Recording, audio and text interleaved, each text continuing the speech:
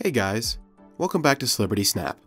In today's video, we shall be looking at the members of Cheers, then and where they are now.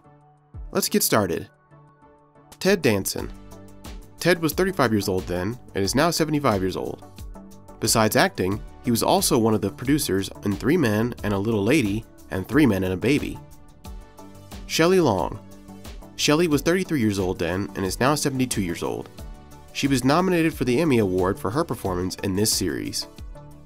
Nicholas Colasanto.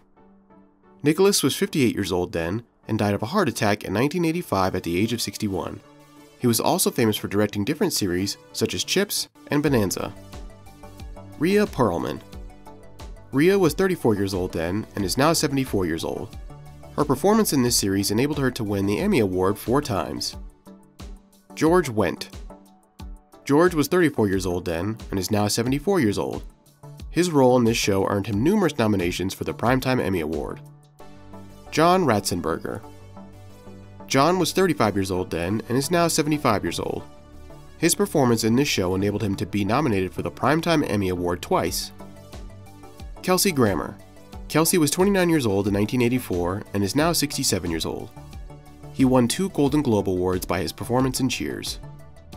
Woody Harrelson. Woody was 24 years old then and is now 61 years old. Besides this show, he is also known for appearing in The Messenger and True Detective. Bebe Neuwirth. Bebe was 28 years old in 1986 and is now 64 years old. She also made appearances in other shows such as Law and Order and Madam Secretary. Kirstie Alley.